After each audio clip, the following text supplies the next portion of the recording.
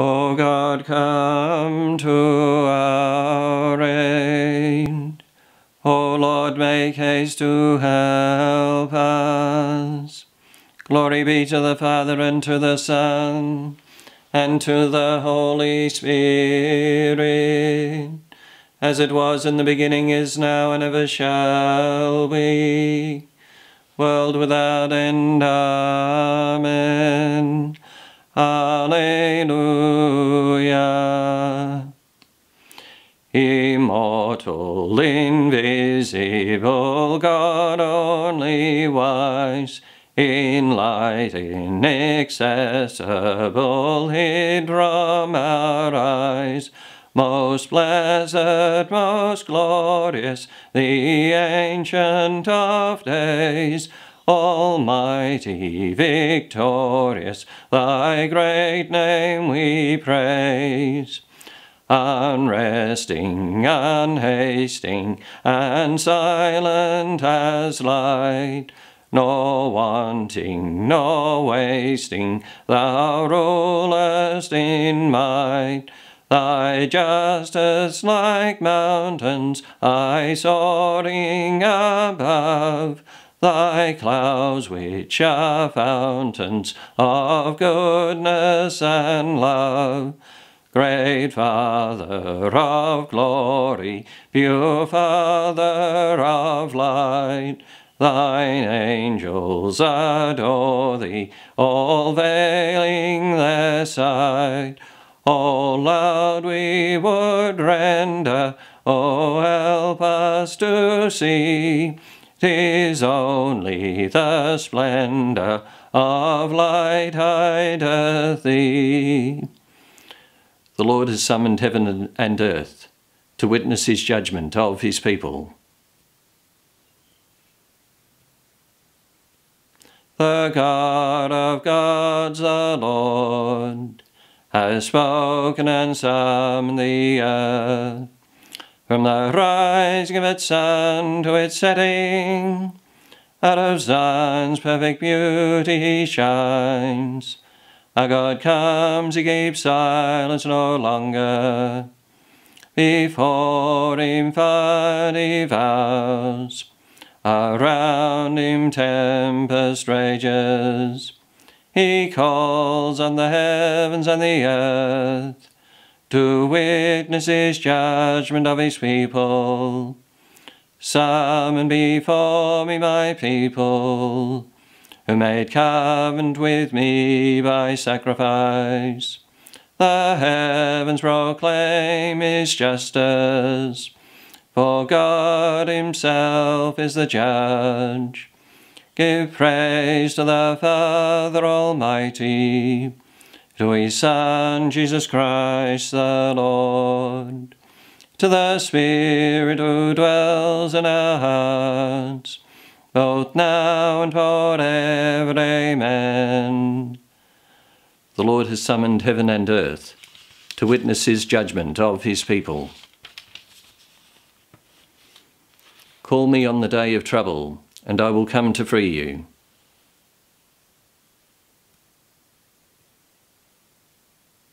Listen, my people, I will speak. Israel, I will testify against you. For I am God, your God. I accuse you, lay the charge before you. I find no fault with your sacrifices. Your offerings are always before me. I do not ask more bullocks from your farms, nor goats from among your herds. For I own all the beasts of the forest, beasts and their thousands on my hills. I know all the birds in the sky, all that moves in the field belongs to me. Were I hungry, I would not tell you, for I own the world and all it holds. Do you think I eat the flesh of bulls, or drink the blood of goats? Pay your sacrifice thanksgiving to God, and render him your votive offerings. Call on me in the day of distress. I will free you, and you shall honor me. Give praise to the Father Almighty, to his Son, Jesus Christ the Lord, to the Spirit who dwells in our hearts, both now and forever. Amen. Call on me in the day of trouble, and I will come to free you. A sacrifice of thanksgiving will honour me.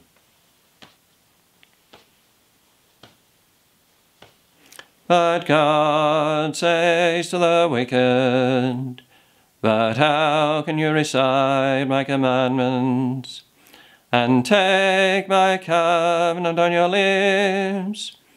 You despise my law and throw my words to the winds.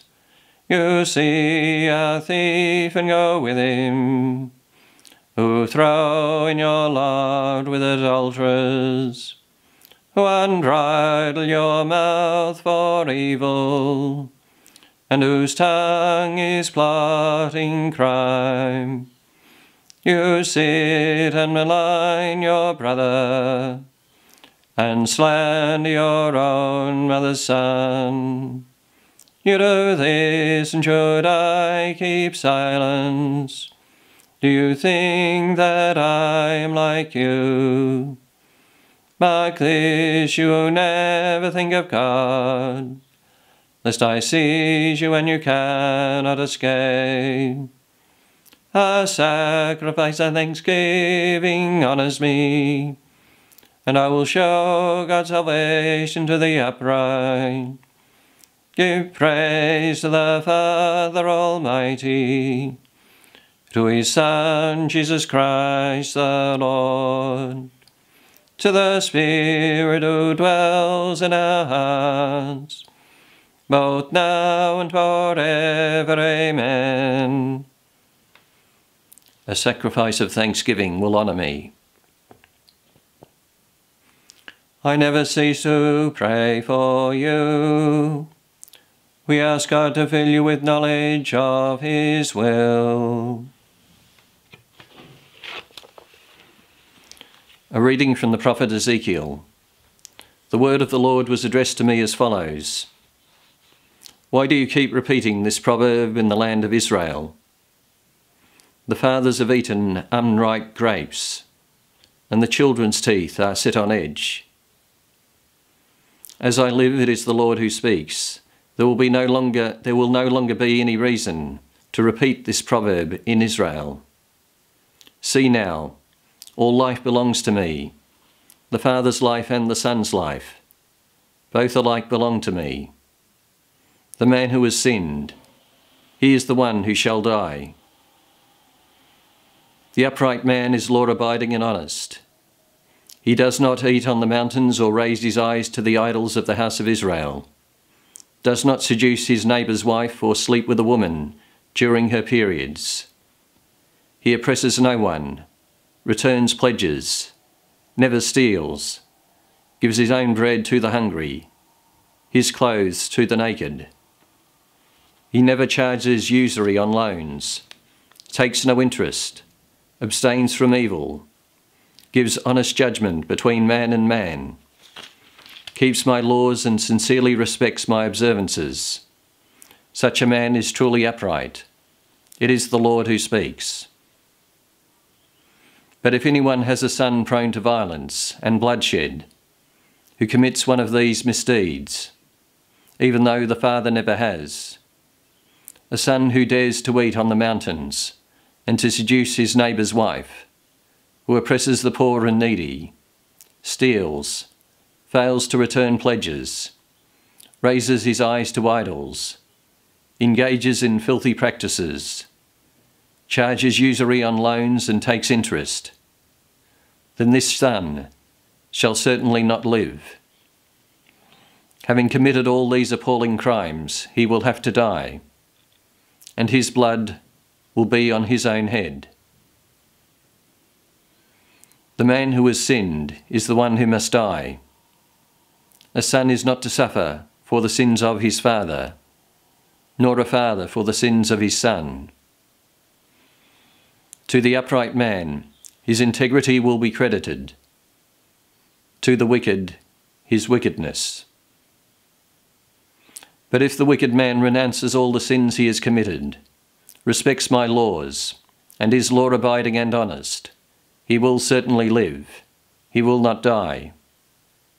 All the sins he has committed will be forgotten from then on. He shall live because of the integrity he has practiced. What? Am I likely to take pleasure in the death of a wicked man? It is the Lord who speaks, and not prefer to see him renounce his wickedness and live. But if the upright man renounces his integrity, commits sin, copies the wicked man, and practices every kind of filth, is he to live? All the integrity he has practiced shall be forgotten from then on. But this is because he himself has broken faith and committed sin, and for this he shall die. But you object. What the Lord does is unjust. Listen, you house of Israel. Is what I do unjust? Is it not what you do that is unjust? When the upright man renounces his integrity to commit sin and dies because of this, he dies because of the evil that he himself has committed. When the sinner renounces sin to become law abiding and honest, he deserves to live. He has chosen to renounce all his previous sins. He shall certainly live. He shall not die. And yet the house of Israel objects. What the Lord does is unjust. Is what I do unjust, you house of Israel? Is it not what you do that is unjust?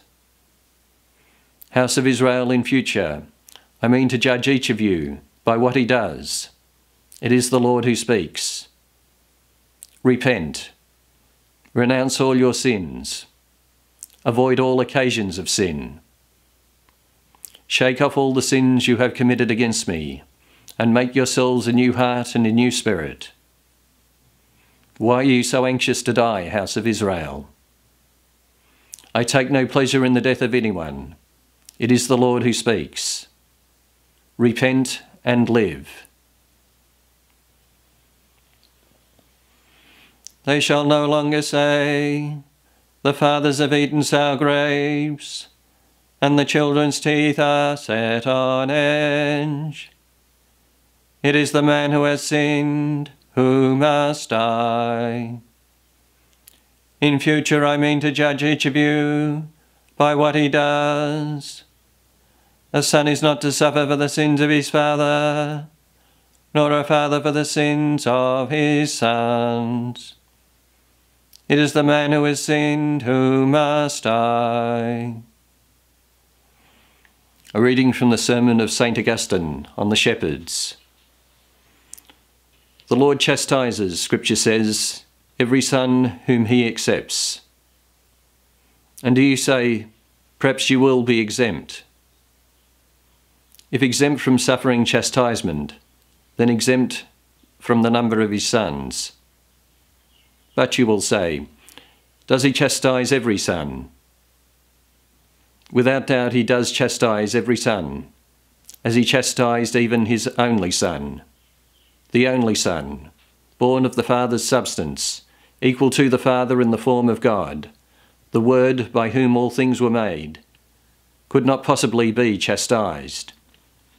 For this purpose he clothed himself in flesh, so that he might not escape chastisement. Will he who chastises his sinless only Son, leave alone his sinful adopted son.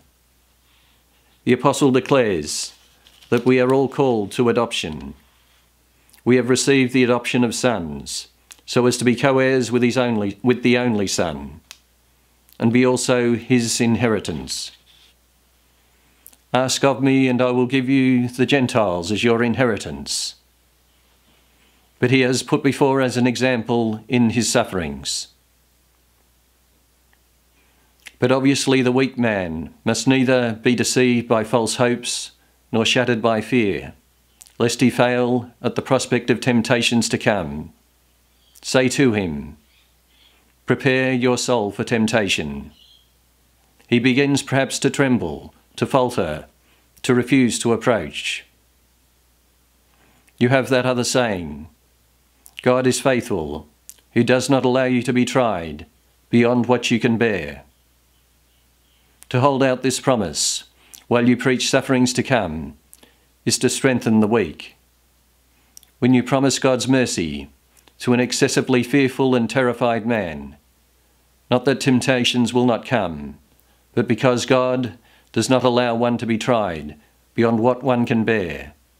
This is binding up the broken.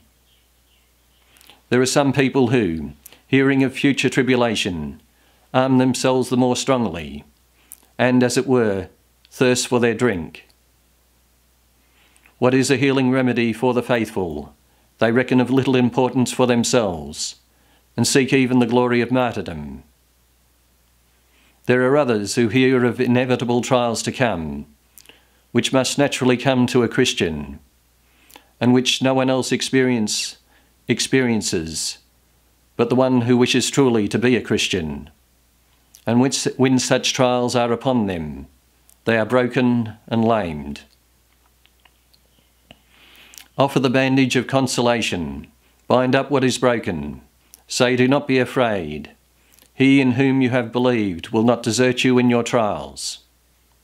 God is faithful, who does not allow you to be tried beyond what you can bear. You are hearing this not just from me, it is the Apostle speaking, and he also says, Do you wish to have a proof of Christ who speaks in me? So when you hear this, you hear it from Christ himself, from that shepherd who feeds Israel. For to him was said, You give us for our drink tears, in measure. What the Apostle says, He does not allow you to be tried beyond what you can bear. This the prophet expresses by, in measure. Do not cast aside the one who both corrects and encourages you, terrifies and consoles you, strikes you and heals you.